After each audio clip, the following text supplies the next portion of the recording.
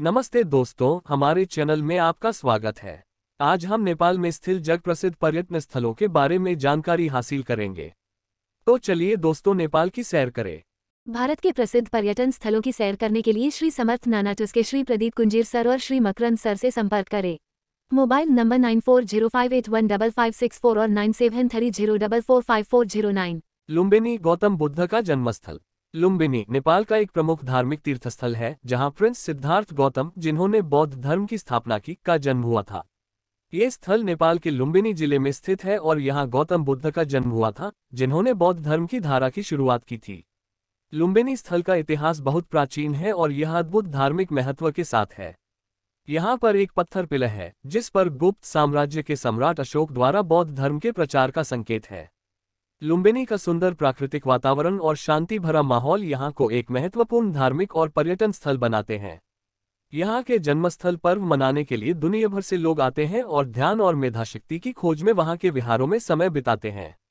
लुम्बिनी एक अत्यंत महत्वपूर्ण स्थल है, जो बौद्ध धर्म के अनुयायियों के लिए धार्मिक और आध्यात्मिक महत्व के साथ एक प्राकृतिक सौंदर्य का स्रोत है। जंगल सफारी ये राष्ट्रीय उद्यान और वन्यजीव संरक्षण क्षेत्र नेपाल की संजीव जैव विविधता का अनुभव करने और रोमांचक जंगल सफारी का आनंद लेने का मौका प्रदान करते हैं। सुनिश्चित करें कि स्थानीय विधियों की जाँच करें, मान्यवर ऑपरेटर्स के साथ अपनी सफारियाँ बुक करें और पर्यावरण पर अपना प्रभाव कम करने के लिए जिम्मेदार पर्यटन अभियानों का पालन करें।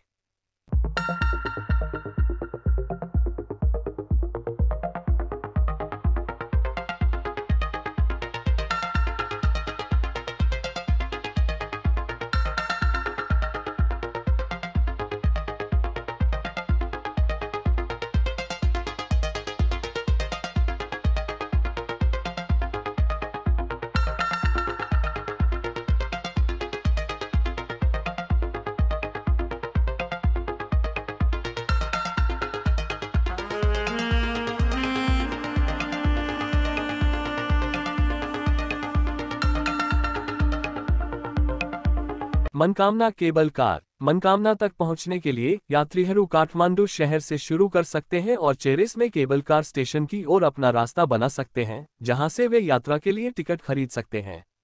केबल कार रोज़ाना चलती हैं, जो आगंतुकों को उनकी योजना के हिसाब से उनकी यात्रा की योजना बनाने की लागती है। संक्षेप में, मनकामना केबल कार बस की तरह केवल एक परिवहन का साधन नहीं है, यह एक पावन और सुंदर स्थल की ओर एक द्वार है।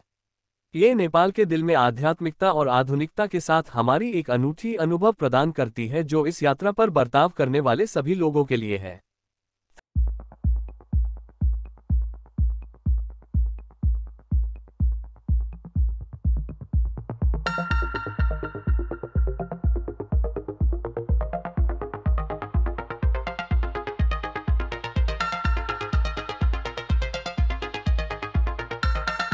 थारू संस्कृति शो। नेपाल में संस्कृति की प्रदर्शनी में नेपाल के तराई क्षेत्र में स्थित थारू समुदाय का सांस्कृतिक रंगारंग उत्सव को थारू संस्कृति प्रसिद्ध नृत्य किया जाता है।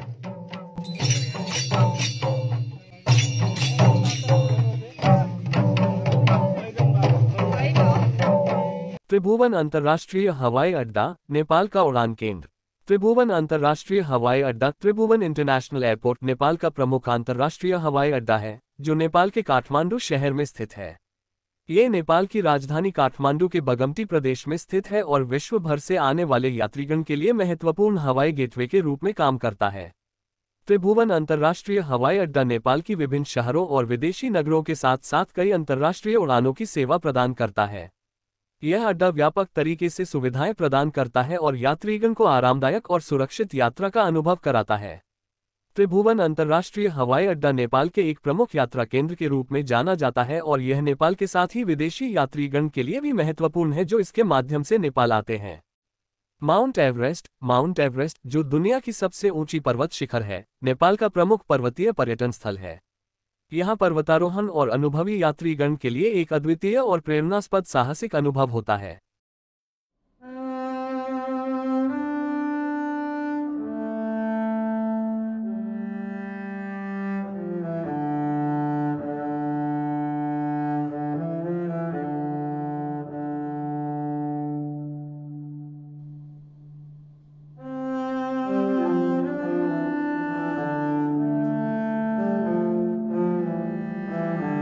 पशुपतिनाथ मंदिर काठमांडू में स्थित है और यह हिंदू धर्म का महत्वपूर्ण तीर्थ स्थल है। यहाँ पर्यटक धार्मिक और आध्यात्मिक माहौल का आनंद लेते हैं।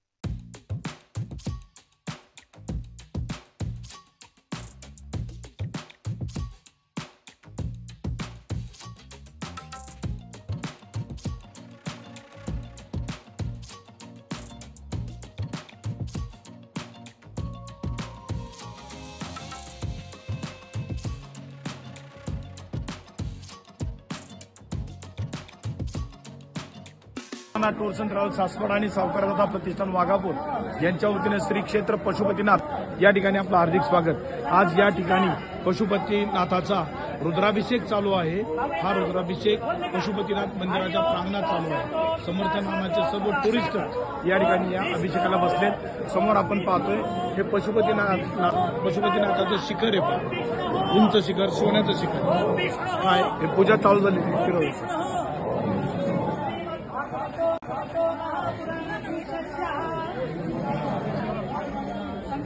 श्रीमद्भागवतो महापुराण पुरुषस्य विष्णुराज्ञा प्रवर्तमानेश्यः सकल जगत सृष्टिकारणो श्री ब्रह्मणोचित प्रार्थे श्री शीतवराकल्पे